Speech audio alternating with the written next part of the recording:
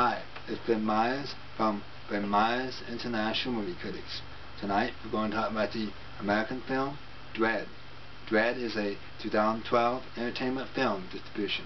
Ben Meyers rating is 3.5 out of 5 stars. This futuristic action film is about in the future law enforcement officers have much more freedom to enforce the law. Should you buy this ticket? Maybe.